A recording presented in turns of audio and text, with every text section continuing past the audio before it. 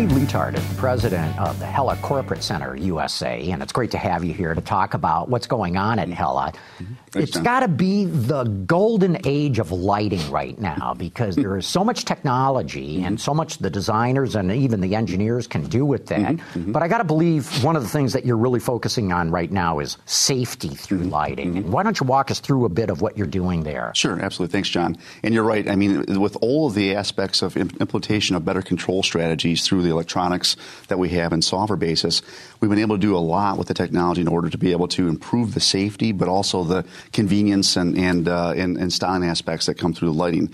But you can see some of the examples we have when we talked about matrix beam implementation or advanced driving beam, where you have basically the high beams on at all times and then trying to drive uh, with them on to provide that much more illumination for the driver, but be able to avoid glare with the uh, with the oncoming traffic or those in front of you.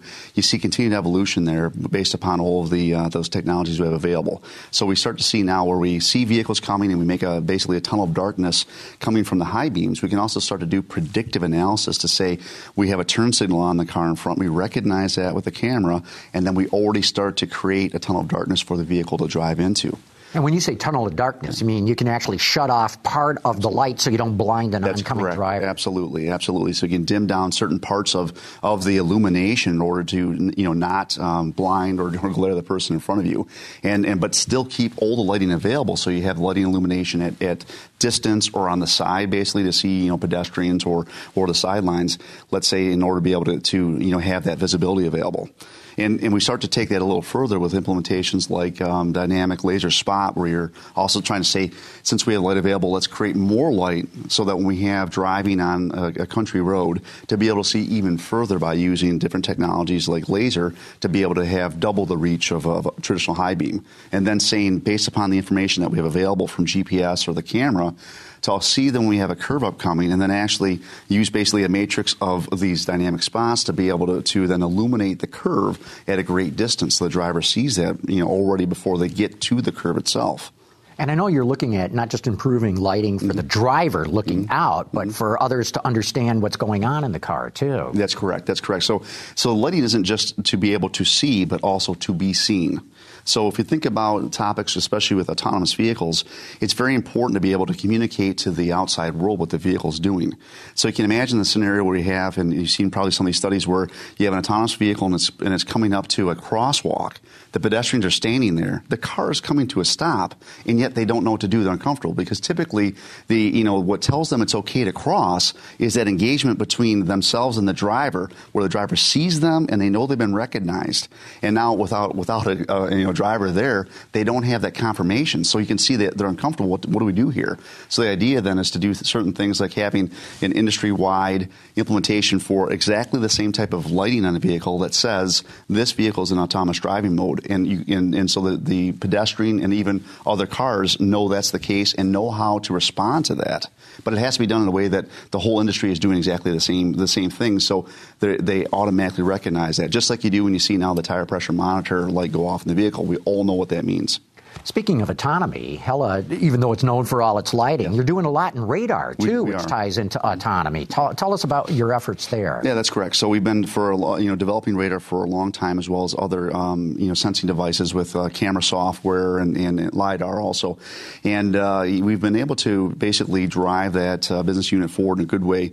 Uh, we see great uh, great penetration rates now for the traditional blind spot detection, lane change assist uh, features that we have altogether, and then now we see uh, with you know the uh, encroachment of not just autonomous vehicles, but also all the again more elaborate controls of the vehicle, like autonomous parking and these things that are in between phases for autonomy.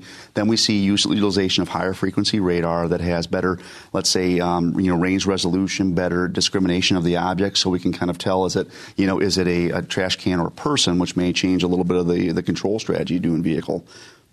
I got to believe one of the challenges now is how do you integrate yeah. all this mm-hmm. stuff? Because when we see most autonomous vehicles mm-hmm. now, they have all these protrusions of sensors sticking out. I'm sure packaging is a big issue for you. Yeah, absolutely. And, it has been for a long time in terms of trying to find a way that you can bring the technology in the vehicle, but do it in a way that still is, you know, uh, provable from a styling standpoint.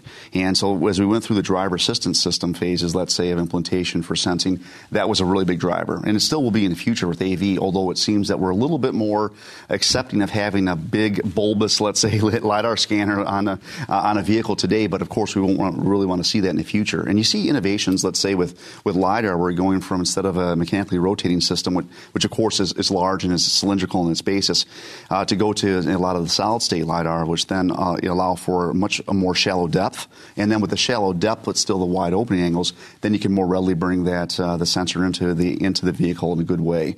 And speaking of styling, there's a lot that you're doing with lighting these yeah, days to yeah. enhance that. Yeah, absolutely. And, and again, that that aspect of the higher um, control strategies that we have for lighting isn't just for um, you know, uh, more control for the functionality lighting, but also for the appearance. So you see now with many vehicles, you see great approach routines where basically you walk up to the vehicle and then they're illuminating, you know, the lights in a, in a sequentially firing way so that it's really an attractive and, and fun and, and, and interesting way to see the vehicle itself. And it's distinctive and people see that and they remember that and recognize the vehicle. So it's a really, it's a great selling uh, ploy for the OEMs. And that's why I say I think this is the golden age of lighting in automotive. Mm-hmm. Steve Lietaert, thanks so much for taking the time to give us this quick update of what you're doing in these, these areas. Great. Thanks, John.